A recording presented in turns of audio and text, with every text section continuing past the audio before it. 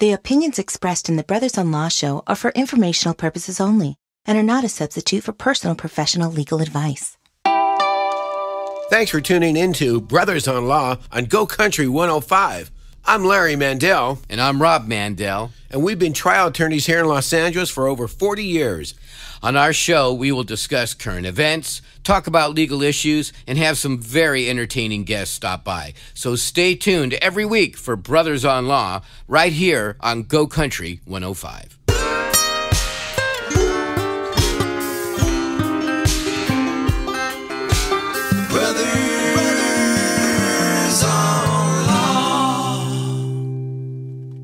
Good morning, everyone. We're Brothers on Law, and I'm Larry Mandell. And I'm Rob Mandell, and welcome to the show. Hey, Larry, do Yeah. you remember when, about 20 years ago, and we were already partners lawyering together, and all of a sudden there was this gigantic lawsuit over breast implants, and we represented several women uh, in that big litigation. And it Dow had to do Corning. with Dow Corning, and I think Mentor was another one, and it had to do with the silicone leaking out of uh, breast implants. And it was a very, very bad situation, some very horrible uh, diseases and problems, connective tissue diseases and immune uh, Disorders. disorders uh, came about, and it was billions and billions of dollars that had to uh, be uh, you know, used to to help these uh, these folks out. And, and now it's come full circle again uh, with the recent revelations that some other uh, implants are causing problems. This uh, there was a recall. Allergan. Yeah, the Allergan uh, or Allergan, as you say, and and a, a, a very serious link to uh, a particular rare form of lymphoma, a blood cancer, I guess. And um, so, you know, what do they we're- call it, Rob? Non-Hodgkin's disease well, they lymphoma. They, they call it large cell uh, lymphoma, and um, we have somebody here to talk about that. well, we have uh, someone to talk about these breast implants. Uh, someone who is uh, versed in uh, plastic surgery, is a board certified plastic surgeon. His name is Dr. Elliot Hirsch. Welcome to the show. Thank you. You know, so uh, you know, tell us from the from a, a physician standpoint because you're now you're in the middle, right? And um, uh, you know, you have to rely on the quality of the products and rely on the FDA and, and all these others, the manufacturers, to, to have safe products. So, what what what is where do you stand uh, in this situation? Where do you and your fellow plastic surgeons uh, stand? Well, it's it's complicated. You know, it's it's not a simple situation. The um, the FDA and the American Society of Plastic Surgeons, the position is that if you have textured breast implants and you don't have any symptoms, everything's okay with them, then there's nothing you have to do in terms of removing them right now. But you should, as any woman with breast implants should do, uh, follow up with your plastic surgeon once a year just to make sure things are okay. And doctor, how can you detect if there is a problem with these breast implants? So most of the time, uh, well, with the texture implant specifically, the concern, uh, like Rob said, was the breast implant associated ALCL, and that usually shows up as uh, swelling on one side, pain, just kind of a, something different that happens with your implants. And so, if a person, if a lady is experiencing these symptoms, what should she do? Go to her plastic surgeon. The one who actually um, performed the surgery? Uh, theoretically, yes, but uh, to be honest with you, a lot of the patients we see to talk about implant removal or replacement or revision, uh, they've had their implants for a long time, and a lot of their plastic surgeons have retired or stopped practicing, or maybe the patients moved out of state. But see, my, my understanding is that it, it was a recall, meaning, hey, ladies, if you got these things in you, get them out. And and so that's what the women that I have talked to, and that I've seen on some of these social media forums and posts, are basically all kind of wondering, okay, you know, how urgent is this? How safe is it to proceed with these in my body, etc. Sure. So what what do you say to them? Well, you, you have to know that there have been less than 600 cases of this ever reported. Right. And so there's millions of women with breast implants. So under 600, that's very rare. And uh, for this to happen, it's, it's pretty much specific to the textured implants. So if you don't have textured implants and you feel good, your breasts are okay, you're fine. Okay. Just the general recommendation, though, is once a year follow up with your plastic surgeon. Is that a recommendation whether you, no matter what kind of implant you have? Yes, because implants don't last forever, and that's that's I think that's the mistake that a lot of people make. Uh, they maybe they don't think about it; it's just part of their body. They feel good. There's no problems, but we. I mean, I could, could tell you so many times, so many stories of people who are totally fine. I've had implants for 40 years, but no problems. I was walking my dog, tripped and fell, and my implant exploded. Oh yeah. And is, is it because it's been there too long? Yeah, absolutely. And 40 gonna- years is way too long. What's, 40 what's years. Life, Yeah. Wow. What's the lifespan? After 10 years, about 50% of patients will have some kind of revision. So we usually say, you know, between 10 and 15 years, that's when you want to start thinking about maybe changing your implants out or doing something a little different. You know, Rob, we've had cases where a woman has had an implant and then there's been a chest trauma, like in an auto accident with the seatbelt. Have you seen those? Doc? Sure, I have, yeah. And then you can detect. Uh, I mean, when they have that trauma, they should immediately go to their doctor or go to you to Absolutely. have it checked out, right? Absolutely. Now I forgot to mention, and I didn't want to just jump right in to the uh, the Allergan controversy, but you practice uh, the full spectrum of pla- plas- plastic surgery, correct? Correct, yes. All right, and so and that includes both cosmetic and reconstructive, Absolutely. right? And in fact, um, well, tell us what what is the difference between those two? So, a reconstructive surgery, we would say, is something that restores your body appearance following like an illness, cancer, trauma, something like that. Whereas a cosmetic procedure is something designed to enhance your appearance. Okay, now implants can be used for both, right? Absolutely. Yeah.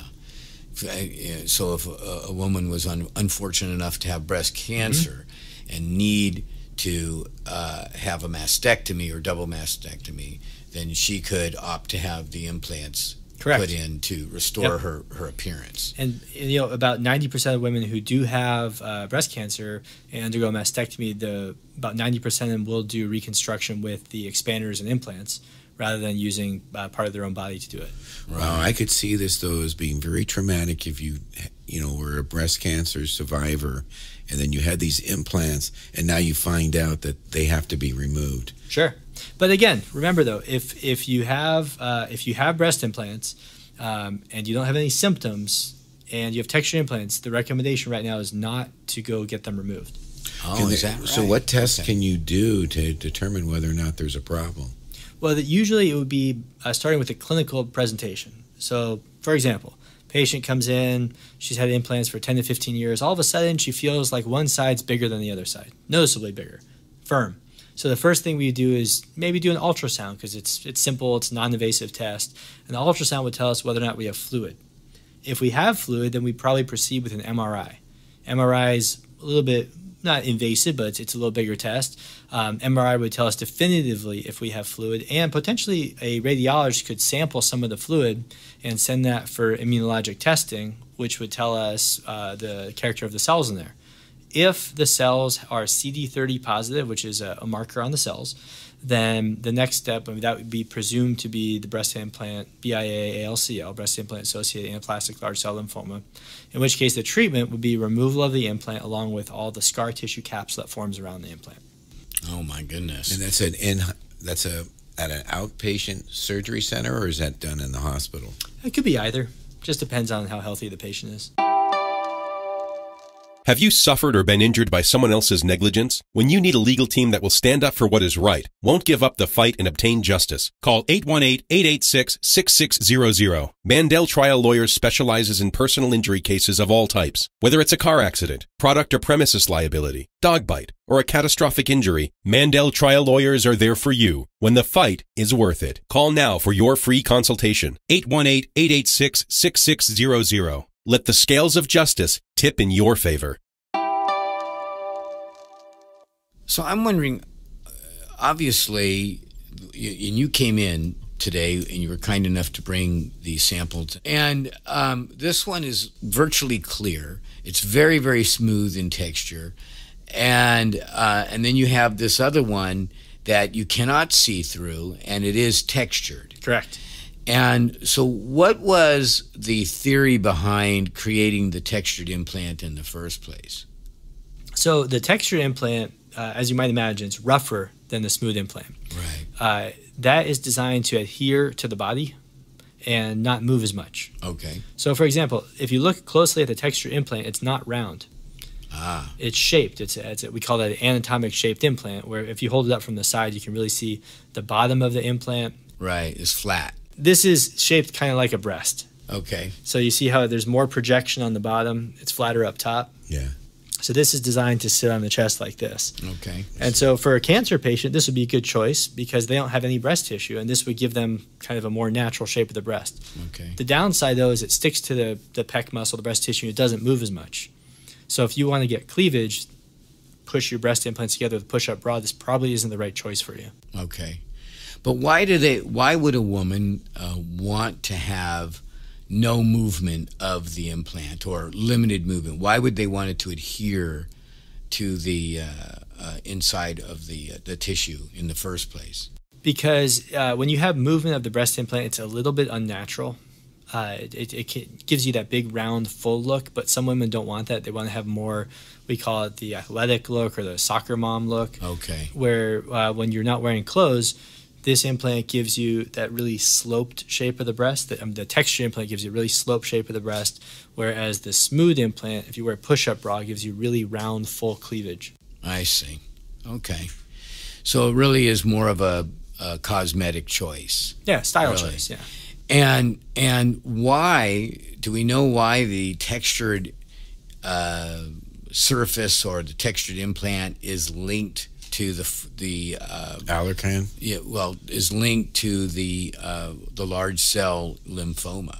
We have we have theories, Okay. and um, the the smooth implant, um, uh, it's when you feel the surface, it's totally smooth.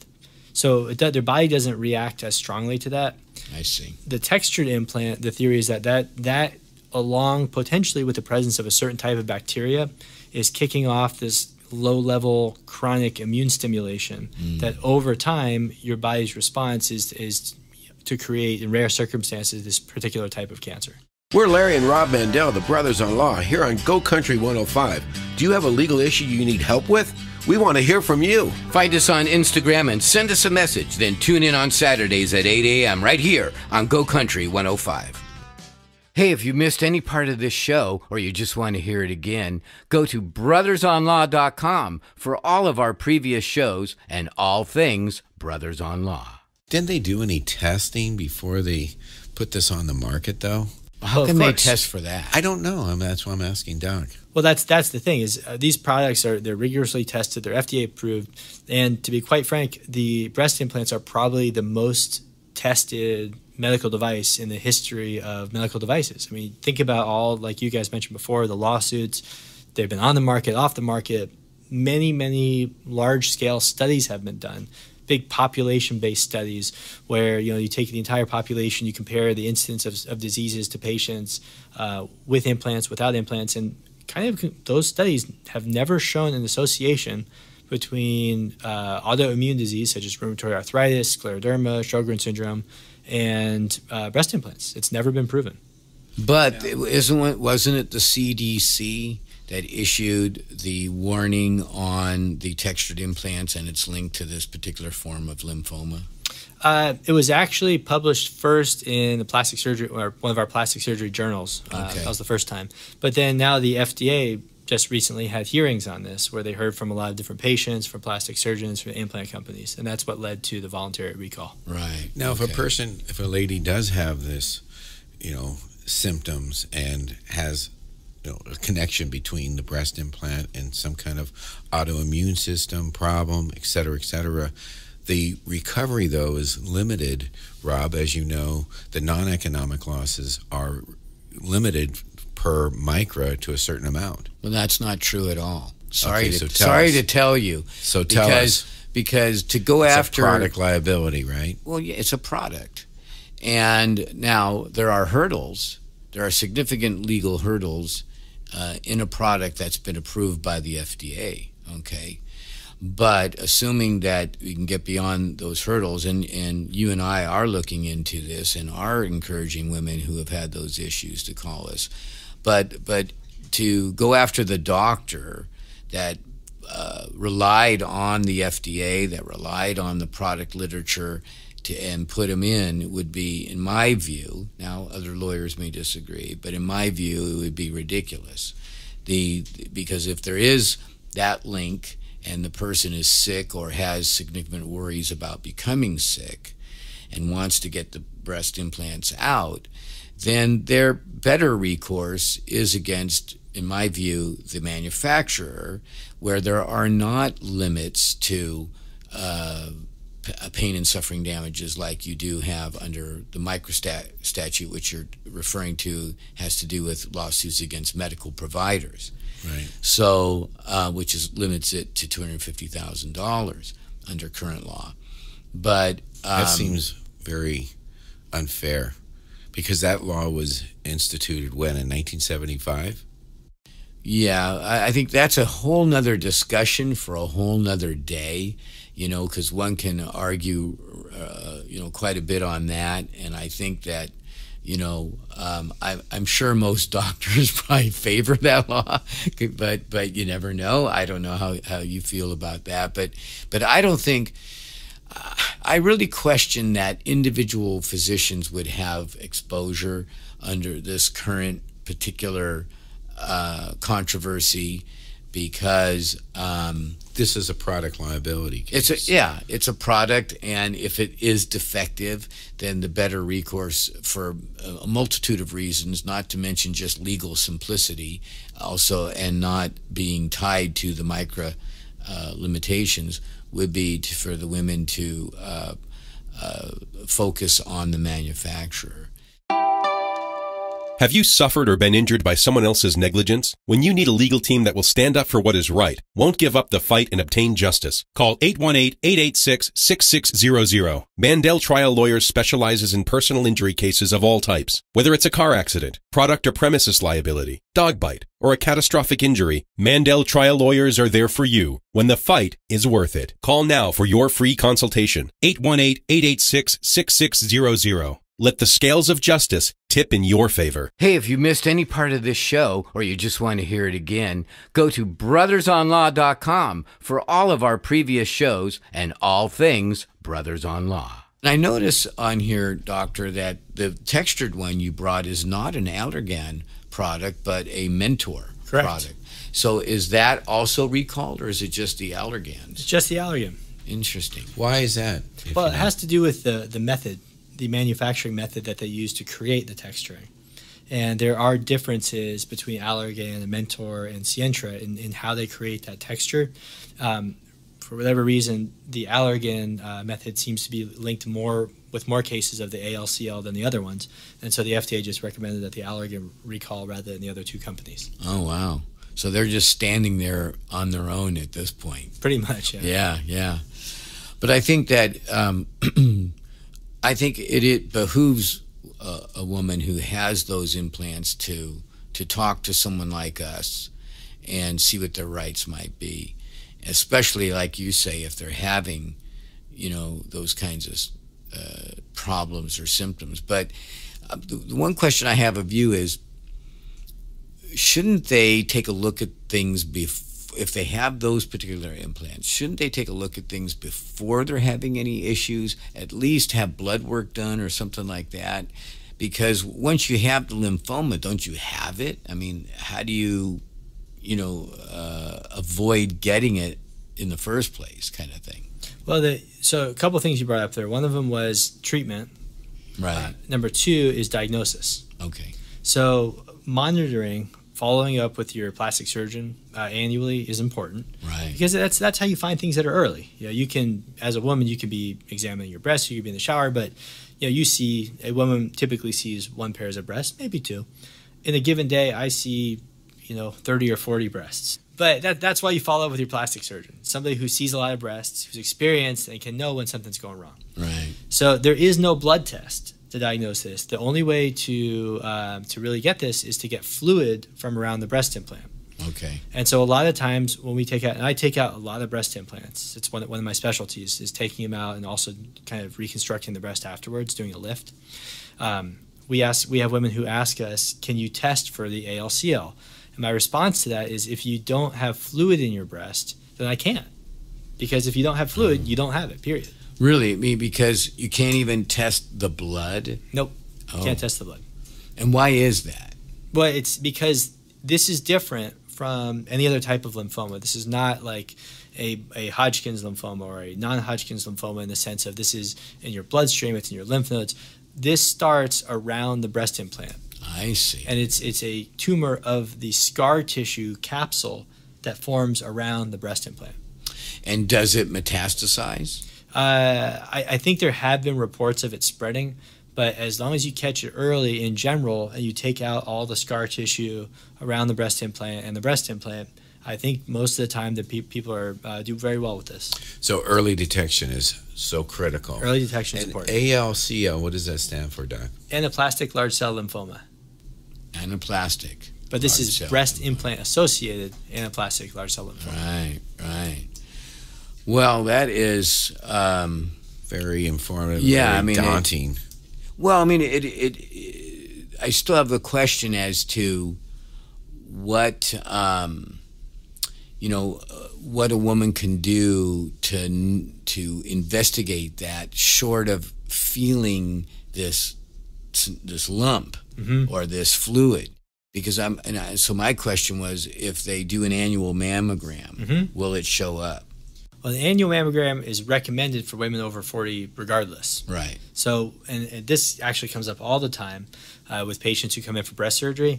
Uh, I won't operate on somebody for an elective breast surgery if they haven't had a mammogram within one year if they're over 40. Okay. I've seen patients, because I do breast cancer uh, reconstruction also, I've seen patients who have had uh, augmentations, reductions, lifts um, recently and feel a lump afterwards, and that turns out to be cancer, and they didn't have the screening.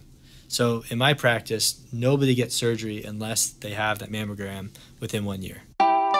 Stay connected with us on Facebook, Instagram, Twitter, YouTube, and of course, brothersonlaw.com. Hey, if you missed any part of this show or you just want to hear it again, go to brothersonlaw.com for all of our previous shows and all things Brothers on Law. And you were mentioning in your practice, you you actually have a, a focus or a specialty in removing Yes. uh, implants that the women don't want anymore, and then doing some other kind of reconstruction to to enhance the appearance. Yes. What does that entail?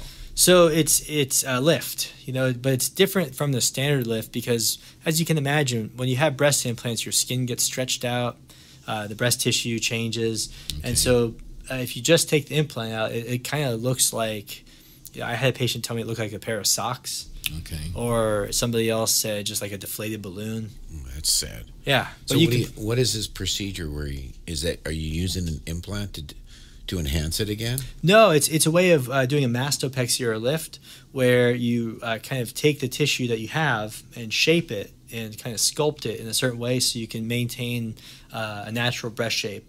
Uh, will insurance cover that? No, insurance doesn't cover that.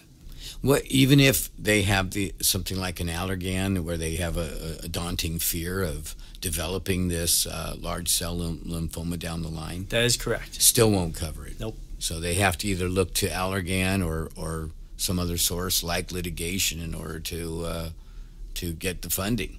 Well, you, you have to, I mean, we have to be guided by science and Right. guided by the FDA because, like you said before, I mean, that's what plastic surgeons, doctors, and patients, that's what we have to rely on. That's the best source of information for us. Of course. So if if we have patients who are thinking about removing their implants, just taking them out, but they have no symptoms, they just they have this fear, that's not covered by anything. Right. If they have textured implants and they want to change to smooth implants, Allergan will give them a free pair of implants. I see. But they won't pay for the surgery, but they'll give them a free pair of implants just to take them out and change them. Right. That's That's that's, where that's the cool. well, that's where the if you go on these forums that we and we've been you know looking into this, um, that's where the women are furious because can it, you you know, it's blame like, hey, you know, a pair of implants, what does that do me? You know, I mean, I know that that's something, Mm-hmm. but it's the the cost. What is true the cost? No, the, but the, the true cost involved is the time uh, For the and- doctor. for the physician, Yeah. Sure. and the hospital, and the anesthesiologist, etc. So that's where they're, you know, I think Allergan is making a big, big, you know, they're just holding up a big target sign, if you ask me. Yeah, Rob, I want to clarify one thing with Dr. Hirsch. You also do other types of plastic surgery. We do. Right? And what would that involve? Like if somebody is like a dog bite injury or something like that that we handle? Yeah. Where there's scarring and it needs to be like dermabrasion or Sure. some other type Uh, of lasers, proce- derivation, scar revision surgery. Uh, we do a lot of treatment of skin cancer surgery. Yeah. Now, what uh, skin cancer surgery does that mean? Someone has had skin cancer removed and it still leaves a scar, or are you the actual primary surgeon removing the cancer? Just depends. I, I don't do melanoma surgery, but I can do reconstruction after the melanoma. Okay. Um, but basal cells, squamous cells, you know, the more common, uh, less aggressive skin cancers, I I remove these all the time. Okay, and you're doing it in a fashion that um, leaves less scarring than if they were just doing it like a dermatologist or, or some other Trying to, trying right, to, yeah. right. That's good stuff. We're Larry and Rob Mandell, the brothers on law, here on Go Country 105. Do you have a legal issue you need help with? We want to hear from you. Find us on Instagram and send us a message. Then tune in on Saturdays at 8 a.m. right here on Go Country 105. Hey, if you missed any part of this show or you just want to hear it again, go to brothersonlaw.com for all of our previous shows and all things Brothers on Law. We have a call. Tip of the day and some true and Well, we have things. a call. Um, Robin, we, we have time for one little call. Hi, uh, this is Robin. I got into a DUI Tuesday night. I never had one before. I don't know what to do. I'm not even sure on what steps I could take to get through this. Is there any tips you guys could give me to help me get through this easily? Thanks, guys. I've never had one before. I don't know what to do. What are the steps I can take to get through this as easily as possible?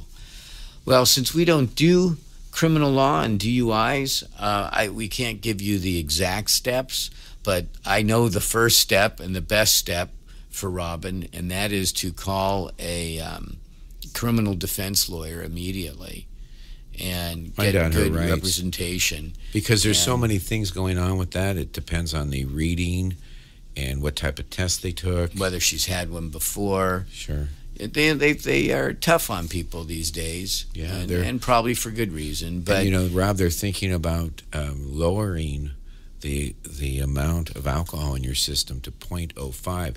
I think that's instituted in Utah. that's like now. half a drink. I know it's crazy. Yeah, but but but uh, Larry Bakman is a good buddy of ours. He does a lot of uh, criminal defense. B A K M A N, Right. and uh, Out of Century City. out of Century City. She can uh, tr- uh, try him.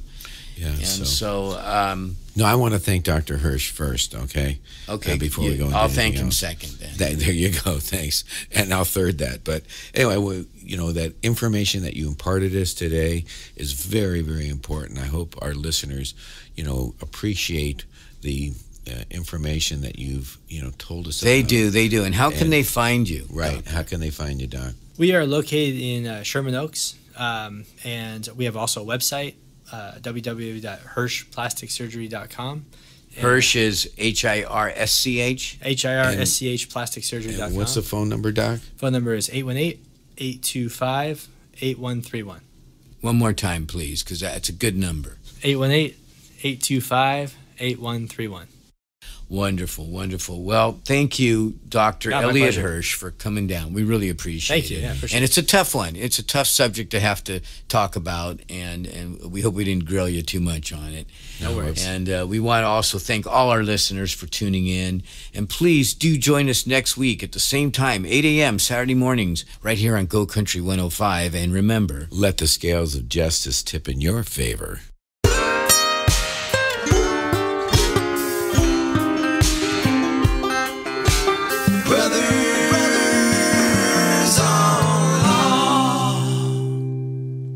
The opinions expressed in the Brothers on Law show are for informational purposes only and are not a substitute for personal professional legal advice.